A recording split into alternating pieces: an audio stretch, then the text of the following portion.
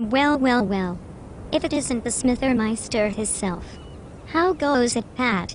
Still, Patchland? Ha ha ha ha. Petulant.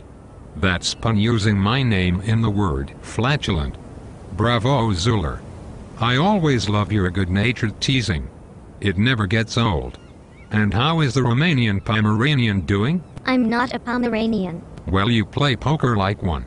Do Pomeranians play poker? Yes, Wow, one learns something new every day. indeed one do. So I hear that nobody is as good as me and that my absence from the friendly league of poker has left something of a vacuum. Well, the vacuum does come in handy to clean up the spillage. What? Eh, My feeble attempt at humor. indeed it be. Anywho, yes, you're sorely missed.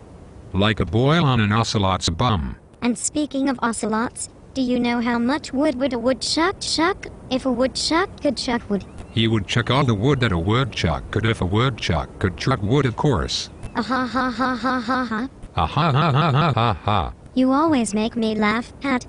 And contrary to popular belief, I think you're the best poker player in the flop or flop as the peons call it. As do you, Danny boy. Your humor is top notch. But I do disagree with you on one thing. You are the best poker player in the flip flop. No way, Jose, you are. And I won't accept yes for an answer. Way. And you are the best. Shut up. No, you shut up. Ah ha ha ha ha ha ha. Ah ha ha ha ha ha ha. Ah ha ha ha ha ha ha. I've always loved you, you know. I've always loved you too.